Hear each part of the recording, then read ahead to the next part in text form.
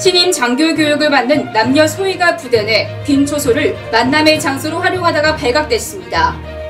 25일 군 소식통에 따르면 전남 장성 상무대에서 지난 23일 사용하지 않은 부대 내 초소의 군용 모포 등을 바닥에 깔아놓고 만나는 장소로 이용하던 남녀 소위가 적발되었습니다. 이 같은 사실은 현장을 발견한 부대 부사관이 촬영한 사진을 SNS에 올리면서 외부에 알려졌습니다. 해당 사진을 보면 빈 초소에 군용 모포를 깔고 배낭과 간식, 식수 등을 갖춰 놓았습니다. 다만 코로나19 확산 방지를 위해 입교 이후 청원 휴가를 제외하고는 휴일에도 외출과 외박을 하지 못했다는 게 군 소식통의 설명입니다.